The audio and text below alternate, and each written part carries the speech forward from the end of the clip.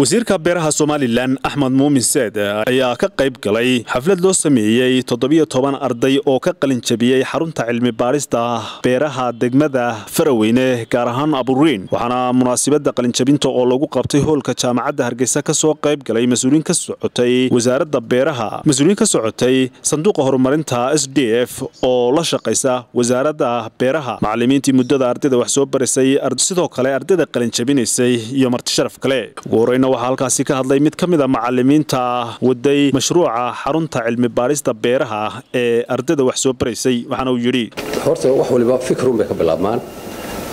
Fikirku wax aniga keliya iga soo go'ay ma ahayn. Waxa abuuriin iyo deegaankeeda sida dhulalka kale ee somalilan oo dhanba waxay ahayd waxay nagu socda nabaadguur khatar ah.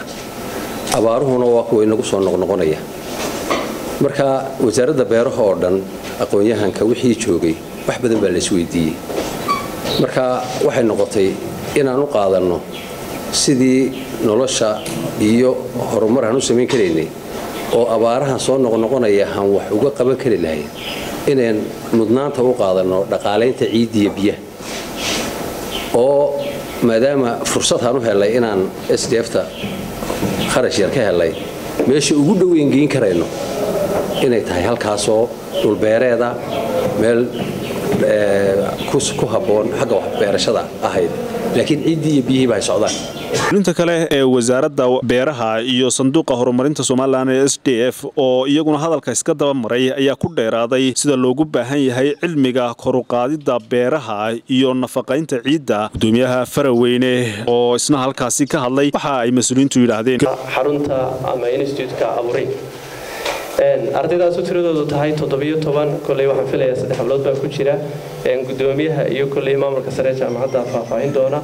Aad iyo aad baad mahadsantihiin waan idin soo dhawaynaynaa gobollada ku leeyihiin intooda badan ha noqoto ceergaabo burco berbera boorama taasi waxay keentay in componentkan mashruuca ka mid ah ee ahaa in wasaaradda kabasitigeega wax loogu qaado kan oo ahaa componentkii shanaad ee mashruuca ku jiray ee ah in aburiin la dhiso dib la noo nooleeyo laga dhiso dhismayaashii ku jiray ee hore u dhisnaan jiray ha noqoto in laab casriya laga sameeyo ha noqoto in guryo la seexda laga sameeyo ha noqoto in ardaydani ku xeraysnayd oon qiyaasayo inay sanad iyo sideed bilood ku dhow yihiin la siiyo accommodationkoogii transportkoodii dioskoodii wixii kolba iyagu baahidooda ha noqoto in macalimiin loo raadiyo aqoontaas siin karta.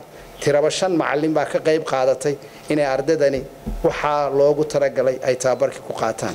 Waxaan leeyahay marka hore waa arrin aad u muhiima waa arrimaha laga dhawaajinayo ee dalka ku hormaro.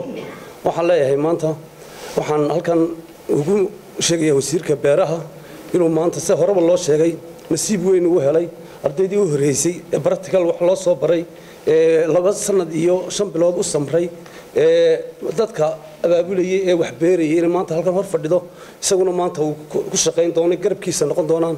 Waxaan kaloo halkan uga mahad celinaya macallimiintii iyo ardaydii wax ku soo baratay deegaanka aan xukumo ee aburiin center oo ah halkii somalilan xarunteeda ay degmadu nasiib u heshay oo somalilan oo dhan ka dhaxaysa oo cid walba lixda gobolba ay wax lagu tababarayo oo wixii looga baahdan aanu diyaar u nahay. Brograamkan iminka sidaa la tilmaamay waxay noqonaysaa hadda in idinku aa qabataan hawshii macalimiinta waaweyn ay soo qabanayeen ama dadka waaweynee wasaaradda inta badan ku soo jiray inay idinku la wareegtaan. Dhiiga cusubna waa tiinoo waddanka hadda soo galay oo dhiiga cusubi dhiiggii hore waa ka gedisan yahay. Taas waxaa la rabaa markaa inay qabataan. Waddanka idinka arkay roobba ka daayay imaka roobkaa daaya qolo kasta oo dunidii inta roobee soo gasha ama xilliyada roobka way taqaanaa. Xilliyadu daana way naqaanaa. Markaa dadkii hore way ku xisaabtami jireen hataa ninkii reer miyiga ahaa ama beeraleyda ahaa ee hore wuu yaqaanay dabaylaha iyo waxaan predictionka ama waxaan saadaasha laydhaa aad bay u yaqaaneen. Wuxuu ku sii talageli jiray waxa iman doona jilaalka iman doona ee adkaanaya meel buu wixiisa sii dhigan jiray gabadiina wasiirka beeraha somalilan axmed muumin seed oo halkaasi ka hadlay ayaa sheegay in ay ardaydan shahaadada sare ee bost graduate dibloma qaatay ay si rasmi ah uga mid noqdeen wasaaradda beeraha islamarkaasina mushaharkooda oo dhammaystiran ay qaadan doonaan bisha soo socota. Waxaana wasiirku ku dheeraaday sida ay uga go'an tahay wasaaradda beeraha in la sameeyo koruqaadidda wax soo saarka dalaga beeraha iyo biyo-xidheenno la samayn doono mustaqbalka dhow. Waxaana uu yidhi qalinjabinta toddobiyo tobankan arday ee runtii ka soo qalinjabiyey aburiin ee soo bartay waxbarasho taqasoo beeraha. Runtii aad iyo aad baan ugu faraxsanahay. Waxay ka mid noqonayaan oo ay ku biirayaan aniga waxqabadkaygii boqol iyo labaatanka maalmood badanta ku biiraysaan waxaad ku biiraysaan kulley wax soo saarkaygii oo aan jeclahay runtii inay taariikhda ii geli doonto. Waxaan aada ugu faraxsanahay runtii oo aan maanta welwelka qabin. Inaad ka mid noqonaysaan shaqaalaha ku faali doona ee wasaaradda beeraha aad ka mid noqonaysaan oo aan runtii jaanis u helay shalay inaad arday ahaydeen.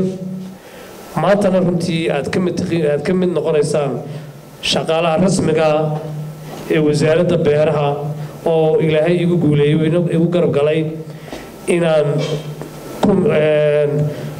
anigoo runtii waqti badan siiyey inaad ka mid noqotaan toddobiyo tobankiinnii oo afarna ay marka hore shaqaalahaayeen saddexiyo tobankiinniina miisaaniyadda iminka ay ku jiraan ee bisha soo socota uu mishaarku bilaabi doono. Sharafay tahay.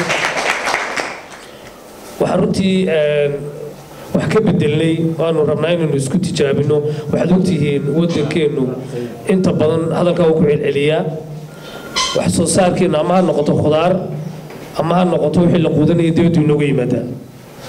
Waxaanu ku wasaaradahaan isku garabsanaynaa ood inaguna qayb ka noqonaysiin inaynu ka maaranno cuntadii dibadda inooga iman jirtay